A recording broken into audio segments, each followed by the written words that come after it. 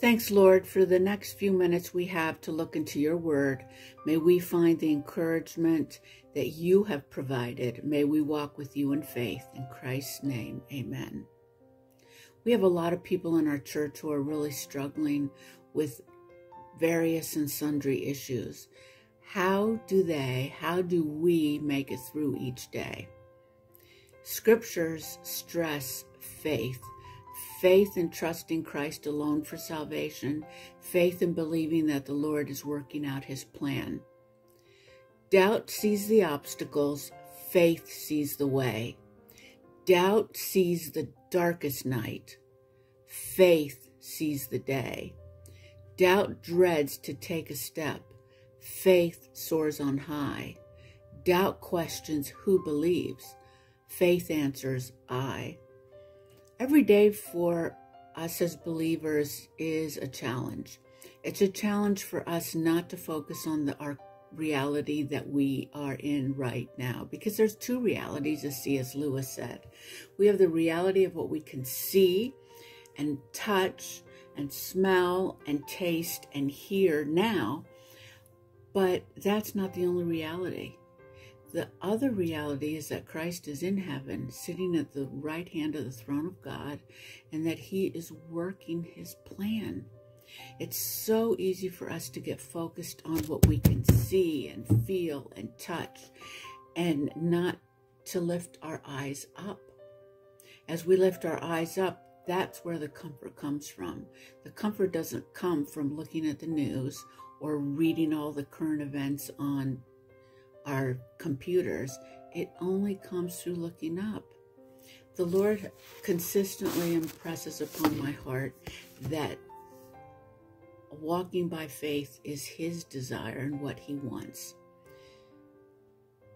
As we have struggles in our own lives and as other people do, we can remember God's word and believe it through faith. The Lord, for example, the Lord is near to the brokenhearted, and he saves the crushed in spirit. Whom in heaven have I but you? And on earth I have nothing I desire beside you. My flesh and my heart may fail, but God is the strength of my heart and my portion forever. You, Lord, are my hiding place. You shall preserve me from trouble. You shall surround me with songs of deliverance. Those who know the Lord trust him because he will not leave those who come to him. These are all different verses from the Psalms. That last one, especially, those who know the Lord trust him because he will not leave any of those who come to him. The Lord's not going to leave us. He is right here. We have to say goodbye to so many things in life. We say goodbye to friends and loved ones when they pass away. We say goodbye to careers we have loved. We say goodbye to pets. We often have to say goodbye to our health. But guess what? we never have to say goodbye to the Lord because He walks with us through each step of the way. Faith is stressed throughout scriptures and especially in Hebrews. It reminds us that with Christ, we have the new. Christ is the absolute supremacy and sufficiency. He as the revealer and mediator of God's grace. Grace. Christ is God's full and final revelation. Christ is superior to the angels, the ancient prophets, to Moses. And Hebrews could be called the book of better things, since the two Greek words for better and superior occur over 15 times in the book. Hebrews says, that God's people must now look only to him, only to Christ, whose atoning death, resurrection, and ascension have opened the way into the true heavenly sanctuary of God's presence. We can know the Lord in the here and the now. We can experience Him on a daily basis through His Word. We have a friend who just wrote a book. It's just been published. And I went over there today to get a signed copy, two actually signed copies. And I'm very anxious to start the book because I know the author. When we communicate with the Lord, we should be excited because we know him. He is the author. He is the author and finisher of our salvation. How does all this wrap up with faith? This all wraps up with faith because from Genesis, God has been leading his people through. He has led them through trials, tribulations, challenges. He has led them through doing the difficult. He has led women, children, men, older people, younger people, consistently led and been there for him, them as they trust him. How is our trust quotient today? Are we trusting in the Lord? Are we remembering what it says in Hebrews chapter 11, verse 1? For those who come to God must believe that He is and that He is a rewarder of those who genuinely seek Him? Are we like those on the faith chapter who died in faith, it says in Hebrews 11 13? They hadn't received the things promised, but having seen them and greeted them from afar, and having acknowledged that they were strangers and exiles on this earth. For people who speak thus make it clear that they are seeking a homeland. In other words, this world is not our home. We walk by faith into the next life, into the next world in eternity with Christ. But as it is, it continues in verse 18, they desire a better country, that is a heavenly one. Therefore, God is not ashamed to be called their God, for he has prepared for them a city. When our faith is dwindling, when we are asking and unable to figure out what the Lord is doing in our lives, it's okay. It's okay to ask, but we might not ever know. We can say it's okay to ask because Job's um, Job asked. He asked questions of the Lord, but ultimately, he realized that his faith was in the Lord alone. He said, For I know that I shall see my God in heaven. Who am I in heaven but thee? There is none that I desire but thee. Whatever is going on with you, with me, with us this week, with our families, let us remember to put all of these situations and to visualize putting our concerns and our cares into the Lord's hands and by faith trusting that He is going to work it all out because He will. And we don't want to be ashamed when we meet Him. We want to be able to say, Lord, I trusted you. I trusted you through the good, the bad, and the ugly. And I'm so thankful that the bad and the ugly is all gone now and that the good will be forever with you here in heaven. We have some, we have a few requests today. Some of them are very concerning. First of all, the big praise that we have is that Chuck got really good report. Chuck Reinhardt got a really good report back from the doctor after waiting for two to three weeks that this tumor was benign. And we're so thankful and grateful. But let's continue to keep Chuck and Lori Reinhardt in our prayers. Poor Mr. Garman, Bob Garman, has had a heart attack. He had a heart attack on Thursday and he's currently in the hospital. Please pray for this family. We know that a lot had just happened with them recently also. Tim Garman has a friend, Chris, from work who has a cyst on her brain. Um, we need to pray for Chris for healing and that she will be able to return home from hospital soon. We know that Tim understands those situations because he had them himself. one that's really concerning and heartbreaking is about Jack and Tina's daughter, Sarah.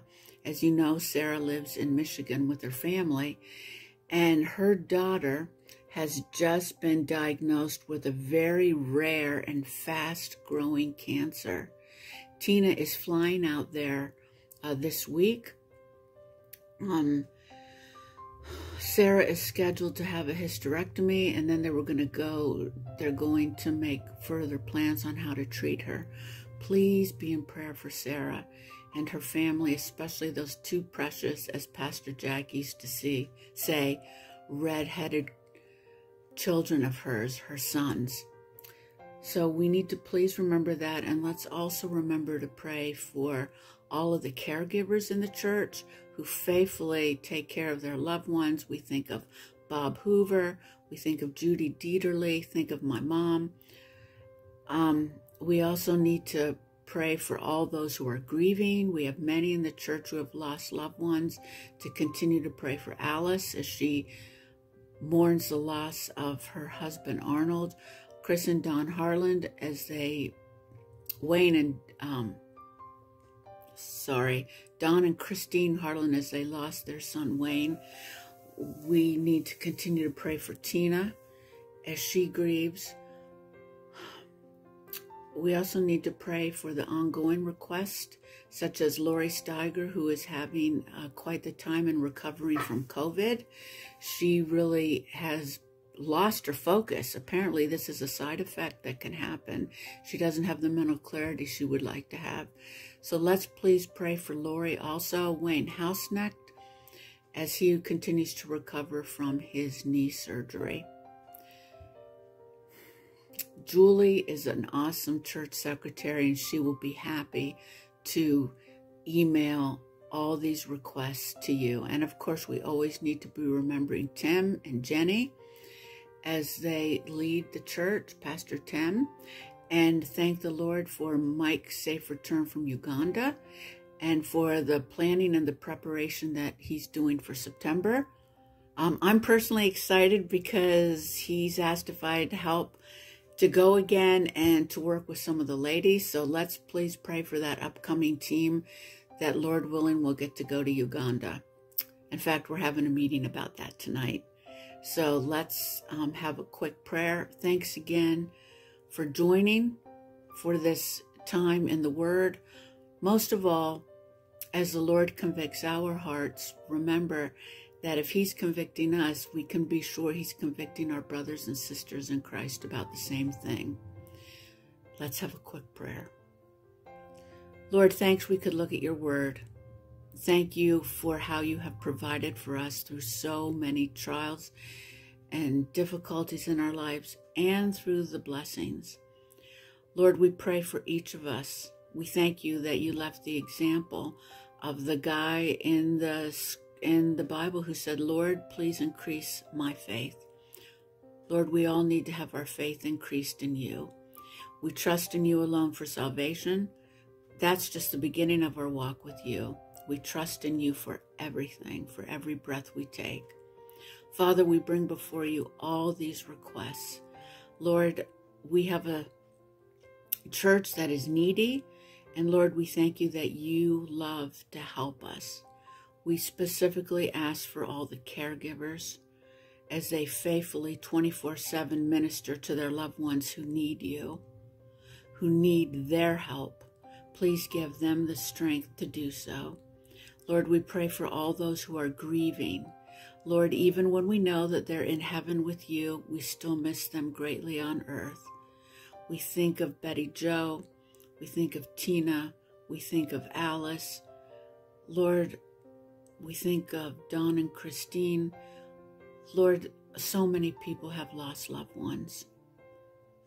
Lord, we also continue to ask you for those struggling with ongoing health issues.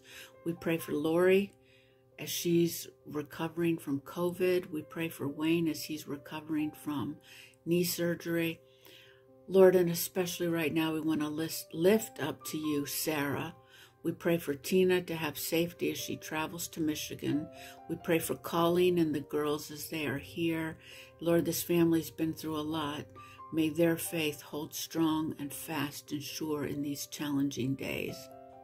We thank you for answers to prayer. We thank you so much that Chuck has a benign tumor. We thank you for Mike Mayosi making it back safely from Uganda and Kenya and Ethiopia. We thank you for this. And Lord, we ask for ongoing wisdom for Pastor Tim and for Jenny. Lord, we pray that our church would please you in our actions, in all that we do, Lord, corporately and individually. And Lord, we want to close by praying for Bill and Julie as they continue to lead the youth. Lord, these are hard days to be a teenager. We pray for them that you would give them great wisdom and pray for our teens to make wise, godly, and wholesome decisions. We commit all these things to you, Lord. We thank you we can come to you anytime. In Christ's name alone we pray. Amen.